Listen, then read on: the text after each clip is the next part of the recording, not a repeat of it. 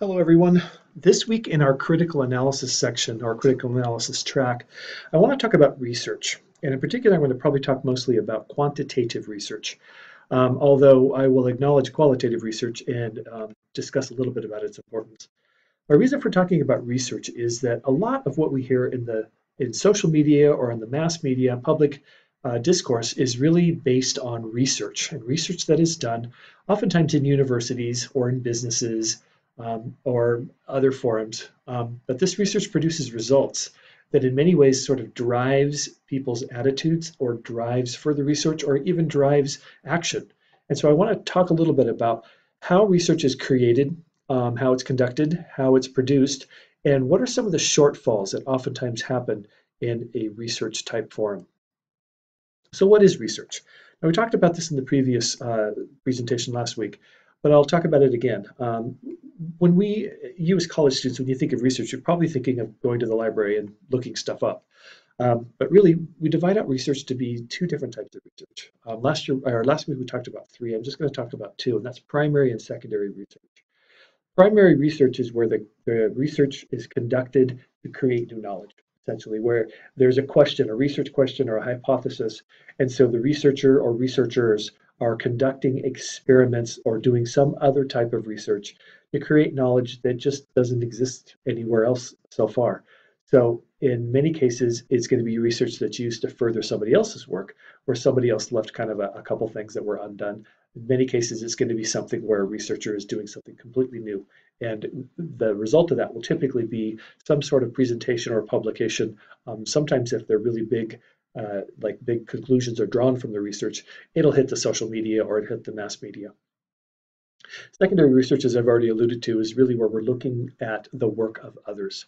Typically, when a primary researcher completes a study, he or she will produce some sort of written record of what was done. It's usually a journal article, it could be something even as big as a book.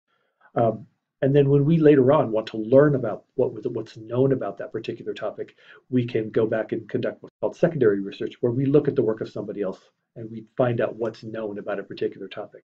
Another way to differentiate between primary research and secondary research is primary research is pursuing what isn't yet known, and secondary research is where we're looking at what has already been known or what's already been written.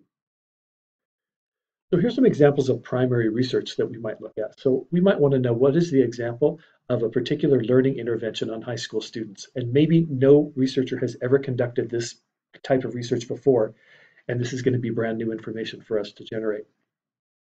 Drug companies also do primary research in the sense that they want to know whether or not a drug has its intended impact. When a drug is created and a compound is identified as a potential drug, drug companies do two things that are pretty key one of which is to check for its safety, and the other one is to check for its efficacy. So when there's a new compound being used to treat disease, say let's say diabetes, they will spend years determining whether or not that drug is actually effective on diabetes. Another example might be what is the best management style given a certain organizational culture. So we can come in, we can assess organizational culture, and we may want to find out what people think or feel about the best management style. We may also want to know what is the impact of social media on friendships and interpersonal interaction. And there's a lot of conversation going on about stuff like that right now. And it may be some research that has has not yet been done, or it may be some research where somebody's done partial or part of the research, and it's up to us to kind of finish the research or kind of take the research in a different direction. And then lastly, we might want to look at what is the best combination of actions to secure a network from cyber criminals. So that could be, again, a very, very topical uh, conversation, a very current conversation, but there may be some research going in to determine the actual best way to secure a network against cybersecurity or cyber criminals.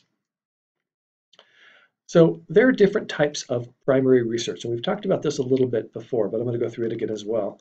Um, there's quantitative, and quantitative research is really focused on testing out whether or not one variable has an impact on another variable. And typically those variables are numeric, hence the quant from quantitative.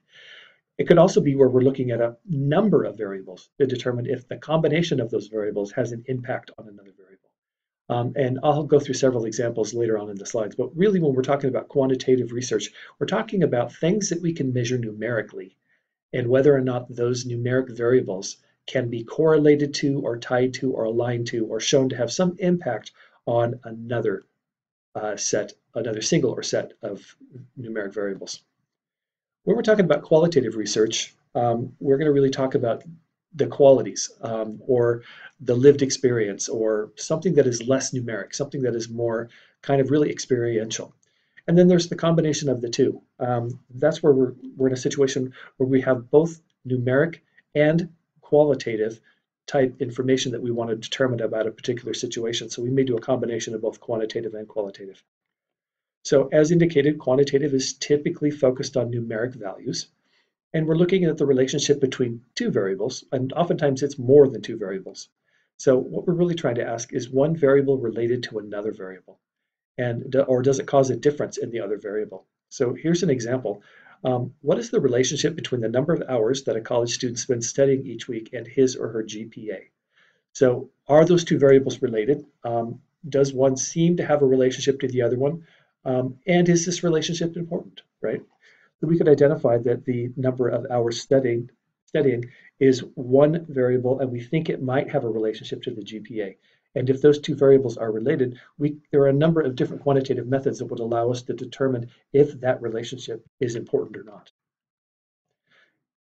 With quantitative studies, we are typically looking at things like populations and samples, um, where the sample actually represents the population. So in many cases, what we're trying to do is we're trying to come up with relationships of one variable or multiple variables to another across an entire population. And that population could be all college students in the state of Washington. It could be all college students in the Pacific Northwest.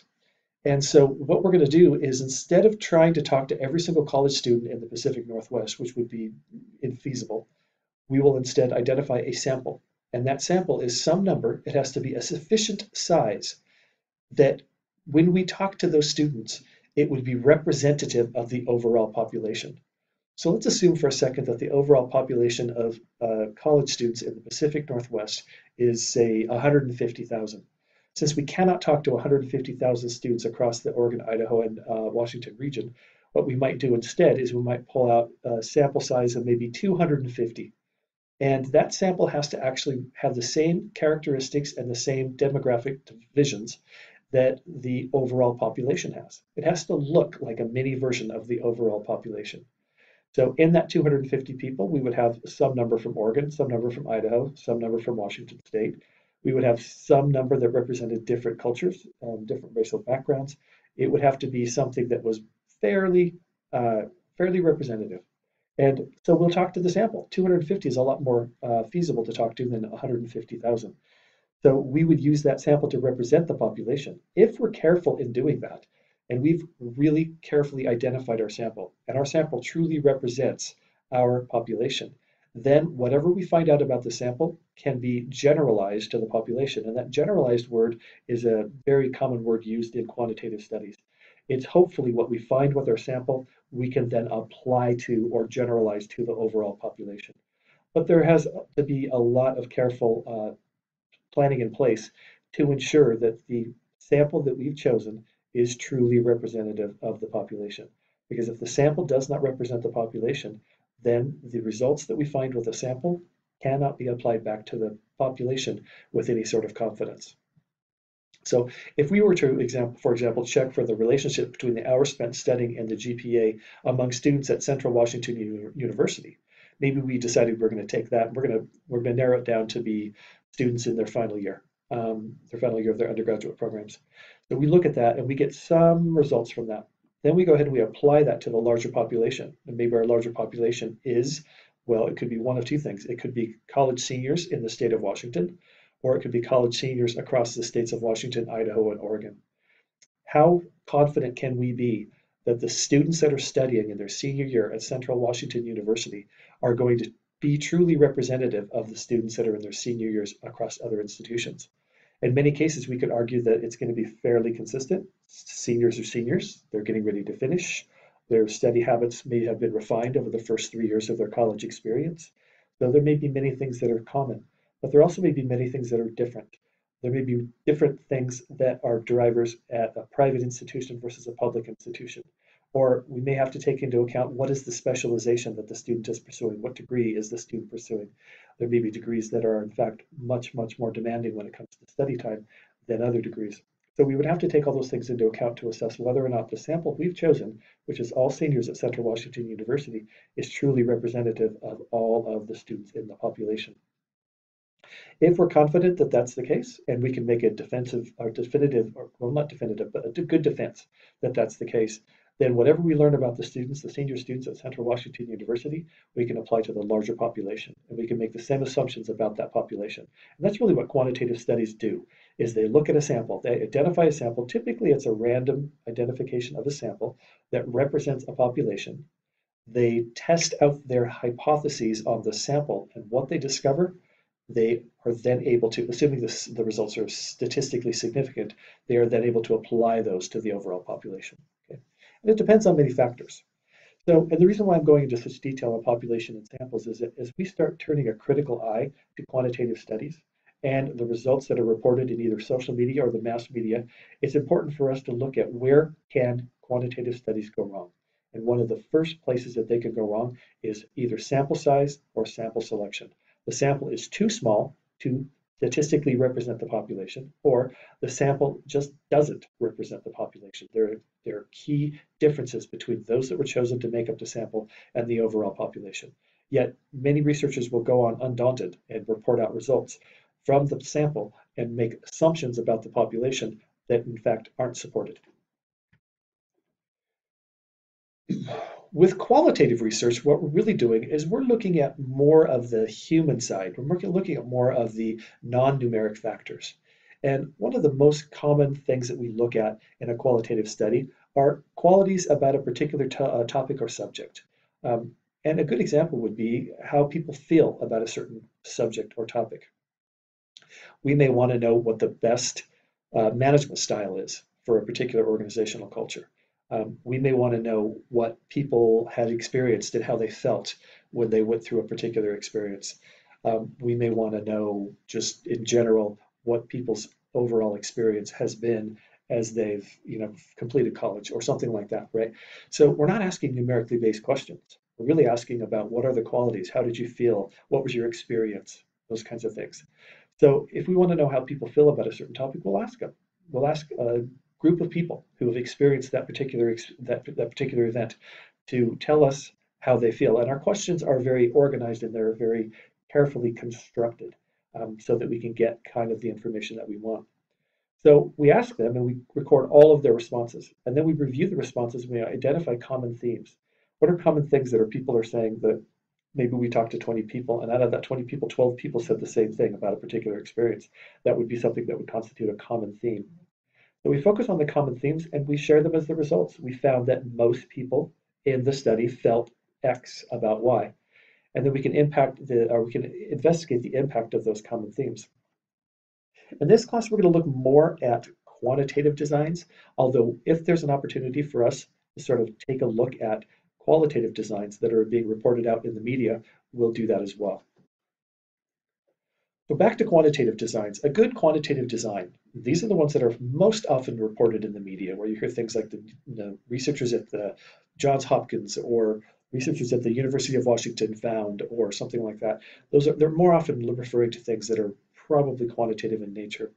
So good quantitative designs have to be well structured you know, we're going to do a quantitative design and we're going to look at one variable's impact on another variable, we have to make sure that we have structured that properly such that we can get to the information that we need about both variables. We can get to enough measurements. We can have a, a large enough sample so that we can represent the population. In a good quantitative design, the sample has to be big enough. Um, again, like I discussed earlier, the sample has to be large enough to be truly representative of the population. A sample that is too small will not take on all of the attributes of the population simply because it can't. There's not enough, there's not enough sample size there. So the sample has to represent the population. The results also have to be interpreted correctly. Oftentimes the results that are, are uh, produced by a quantitative study can be, even though they're reported out by the researcher entirely accurately, when the media picks them up, they don't, they're given more power than they should have. Um, we have to make sure that we use proper statistical analysis when we're actually comparing fields, that we do our best to eliminate bias, and that we do not overextend the results. We don't attribute more meaning to the results than they actually have. So study results are often reported in, now, usually reported in academic journals and conference proceedings. And so journal editors have to assess the quality of the research before they allow the particular paper into their journal. Um, and most are only interesting to others in the field. So, you know, if we're looking at, at the impact of a particular intervention on education, maybe it's, you know, the reading level of third graders, that's probably going to be something that interests only third grade teachers or people who are teaching elementary reading. So there's not a lot of hoopla that goes around most of these studies, um, except for with people that are actually in the field. But still, the journal editor's job is to ensure that what's being submitted to the journal um, is a quality study, that it has met all of the checkboxes that we saw in the previous slide, and that it is actually reporting out results that can that we can have a lot of confidence in. But sometimes the studies are big and they, they, they're a big thing. And what you might hear is there's a lot of work being done in the medical field right now with dementia and uh, Alzheimer's.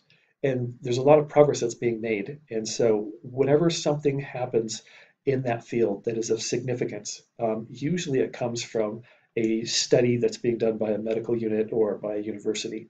And some breakthrough is, is, happening um, you'll you'll see that picked up by the popular media, and you'll also oftentimes one I think one of the most uh, frequently cited journals is the New England Journal of Medicine, and it seems to be sort of the crown jewel of medical journals in the sense that you want to get your you want to get your papers picked up by the New England Journal of Medicine, um, who's only going to pick them up if it's a substantial medical advance.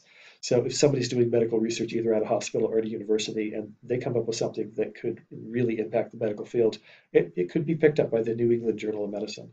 Another example would be, you know, researchers at Johns Hopkins. Um, it's a very strong, very, um, very well-known and very famous research university that produces a lot of great researchers. And so it also produces a lot of research. And so you'll see a lot of good stuff come out of that and cited back to Johns Hopkins.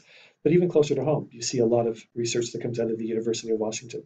Um, all three of those institutions, whether it be the journal or the two universities, are doing great work. And oftentimes the work that they're doing is picked up by the popular media. The problem is, does the popular media get it right? Oftentimes it's more about the headline than it is about the accuracy of what's really being reported in the journal or being done by the universities.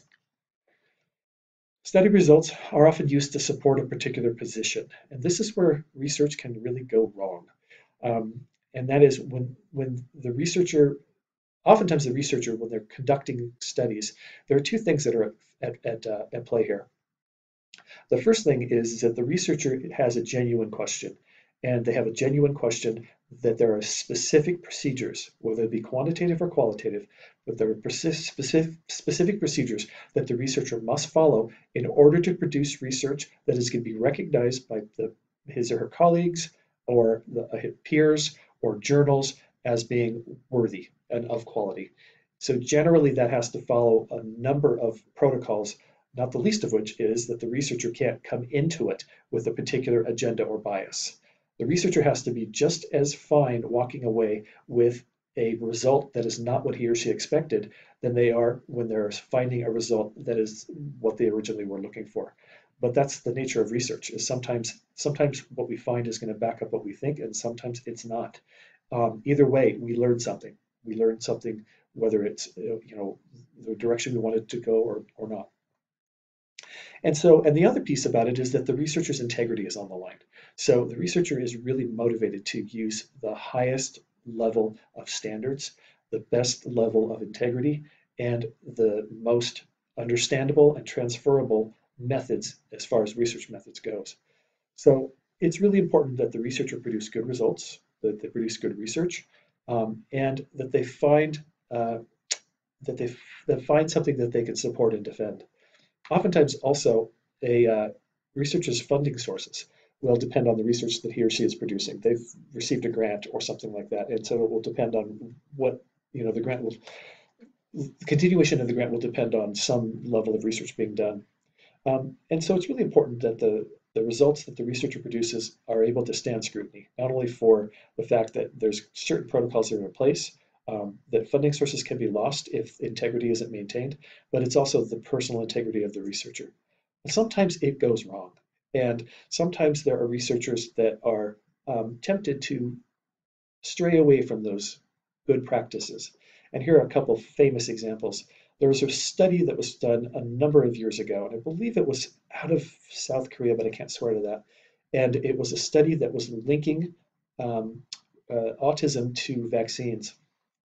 And it became sort of the rallying cry for the anti-vax movement in the sense that they could point to this one study and say, look, look, look, the study said that there was a link. Now, there's a couple things to think about here. One, and I'll talk about this in a minute, most studies only determine that there's a link to or a relationship between two variables. They never ever prove anything. What they do is they provide evidence that supports a hypothesis. Okay? But it's never 100%, and I'll talk about that more in a minute. And so when the anti-vaxxers were waving the anti-vaccine flag because of its relationship to autism, um, many of them were saying that vaccines cause autism. No study would ever show that. No study would ever say that. They would say vaccines could be linked to autism, or they could say there's evidence to suggest that vaccines are related to autism, but they could never say that vaccines cause autism because they could never do that study. So but what happened in this particular case is the years later it was revealed that the researcher falsified his results. And he did it probably because of notoriety. He did it maybe because he was being, you know, pushed in a different direction. Who knows? But it became, uh, you know, kind of a career-ending move for that particular researcher um, because now the the anti-vax movement didn't have their rallying cry, and because that particular study was no good. There's another great example that we've seen over and over and over again in the last 20 or so years, and that is the whole argument about climate change. There's a number of people who have done studies um, that show that there's enough evidence that says burning fossil fuels contributes carbon dioxide to the atmosphere, and that contribution of carbon dioxide to the atmosphere is leading to climate change. Okay? There's a great deal of research that shows that. But there's a great deal of research that has been purposefully set up and purposefully flawed to show that the opposite is true. And those are usually funded by energy companies, not surprisingly. And so that would be sponsored research in the sense that the energy company is trying to find researchers who will basically give them the result that they want. It's pretty easy to do. Um, and I'll talk about why it's pretty easy to do that um, in a minute. For many years, a third example, for many years, um, there was a claim by the tobacco companies that there was insufficient proof that smoking causes lung cancer. Even into the 90s, when there was a giant court case where several attorneys generals across the country sued the tobacco companies, it was the position of the tobacco companies that there was insufficient proof that smoking causes lung cancer, when in fact we know today that it does. Um, and it's now completely debunked. And even the tobacco companies, in a large part, have accepted that that is a, a finality, that is a, a definite link there between those two. But they used a lot of fake research um, and they used a lot of sort of dodgy kind of methods to get out of actually having to accept what the research was really suggesting. So they can use carefully chosen words. And this is what the media does. And this is what also some researchers do. So get away from the conclusions that the research is showing them. They can say stuff like there's not enough proof or there's insufficient data. Well, how can they do that? Well, earlier I had said that studies never prove anything. What studies do is they provide evidence to suggest that a particular conclusion is supportable, but it's only supportable at some percentage of confidence, right? So it could be maybe it's 95% confidence. It meets the 95% threshold. We have 95% confidence that the evidence that we're seeing indicates that smoking causes lung cancer, okay, or that fossil fuels cause uh, are leading to climate change but there's 5% that's not accounted for. And that 5% that's not accounted for doesn't mean that it's on the other side. It doesn't mean that it does it's it does not support the conclusion. It means that there's a 5% chance that the results that the researcher is looking at are inconclusive.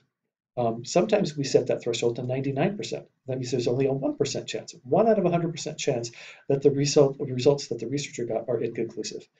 Very, very low chance that the researcher got an inconclusive result. But it's not zero. And because it's not zero, that means that somebody can point to that 5% or that 1% and say, there's still room for error here. There's still margin for error here. So there's just, there's not enough proof. It's not 100% certain or there's insufficient data or there's insufficient proof. And that's what's really happened here is we've looked at a lot of these studies and people will say, well, you know, Yeah, they said 95%, but there's still 5% that says that it's not the case. Well, two things. One, it doesn't say that it's not the case. It just says that 5% chance that it is in, that, we, that we can't find anything conclusive about it. And two, when you're dealing with 5% versus 95%, where 95% says I'm confident in a result and 5% says, oh, I'm not so confident in that result, um, that's really, that's not even a fair comparison. It's a 1 in 20, or in the case of 99, it's a 1 in 100. But some people still use those, they still fall back on those, and that's how they can get out of um, claiming that a study that is at 95 or 99% confidence level, um, it lacks sufficient proof. We can also see that studies can be manipulated. Okay, so if the you know if somebody who's reporting it out either in the mass media um, or social media or somewhere else is you know using some of those weasel words like not enough proof or insufficient evidence, um, the results then can be manipulated. And what's reported out is, for example, instead of saying, you know, university discovers a 95% confidence level that smoking causes lung cancer, um, they can twist that around and say um, university is not 100% confident that smoking causes lung cancer. So, and both of those things are true, right? Both of those things are true. We can never be 100% apt, absolutely true in statistics in the way that we do this, but we can be confident enough that we don't really have much of a doubt. So you can see how certain forces could manipulate um, using science, using data, and they just change the way that they interpret the results. That's why we need to apply a critical eye and critical thinking skills to what we hear, especially even when it's backed up with data. Because if somebody's making a claim, I think the next question that you should ask them is show me the data and then show me the research. How was it done? How much confidence do you have that the, that the results that you're reporting out were actually founded in, um, in true science? And the other piece about this is, is that sometimes it would appear that those that are reporting in the mass media and the social media don't fully understand the research process and don't fully understand what it is they're reporting. They're going for the headline and they're going for what is actually going to you know, get them the most attention. So much of what we read or hear is not founded on solid supportable research. Um, and sometimes in the era of fake news, it may not even be founded on truth, but yet it still gets reported. Um, and so it's really important that we keep an open eye, that we question and that we wonder about where are these conclusions coming from. So that's why it's important to question conclusions and look for sufficient evidence. One thing we haven't talked about yet is bias. And bias is usually unintentional, but oftentimes can be intentional. And that's where we're going back to the study, whether it's a quantitative or qualitative study, we can go back to the study, and the researcher enters the study process um, with a research question but he thinks he already knows the answer, right? Or he wants it to be a particular answer. So what will happen is that you'll see throughout the methodology and throughout the data processing and then even the reporting that there's just kind of a bias, there's kind of a push to one direction or another. And that that makes the results less trustworthy. So maybe even the results that the researcher is looking for is um, they are uh, not supported by the data or what often happens is that the data are manipulated or changed and the tests are changed such that the researcher keeps going after it until he gets what he wants. Right? He finds something that looks significant, looks worthwhile, looks like it will support his conclusions. It's all bias. It's all bias. And that's where it's important for us to make sure that when we are looking at data, we understand where the data came from, who was behind the data, and did they come into it with a really open mind, with a great deal of research integrity, and were they willing to accept the fact that what they're going to discover in their research is in fact not what they really are looking for in the first place. So faults with many studies. Um, we've talked about many of these, but let's just summarize with what these faults are. Um, in some cases, the sample size is not big enough. So the sample size being not big enough, it also gets to number two, where the sample size doesn't really truly represent the population. But we go along undaunted and claim that whatever we found with the sample does in fact apply to the population. That can't be supported and that can't be defended. Okay. Number three, the methods that are employed to conduct the research either aren't strong enough or they're not accurate enough or they don't take enough precautions to make sure that they don't get in some way hampered um, by, the, by their own process. Bias has either been, uh, number four, bias has either not been left out or it's been masked or it's not identified, or it's just flat out there, and the, the researcher is going to keep trying to find a result, um, manipulating the data and doing whatever he or she needs in order to get a significant result. And then one of the other things that happens very often is that researchers and the media is guilty of this too. In fact, this number five is probably the one the media is most guilty of. They overextend the results to try to make them mean more than they do. So, you know, if a university finds that a particular drug has shown promise in treating Alzheimer's, and they found that it showed promise in treating Alzheimer's because certain markers for Alzheimer's out of a thousand patients 300 of those patients saw a slight decline in certain markers of Alzheimer's that may or may not be significant or may or may not be meaningful, then the media might pick that up and say, new drug for Alzheimer's has been discovered. Not really. That's not really the truth. What the study is reporting is they're reporting something that has potential to potentially re reverse the effects of Alzheimer's in about 30% of the patients that were tested.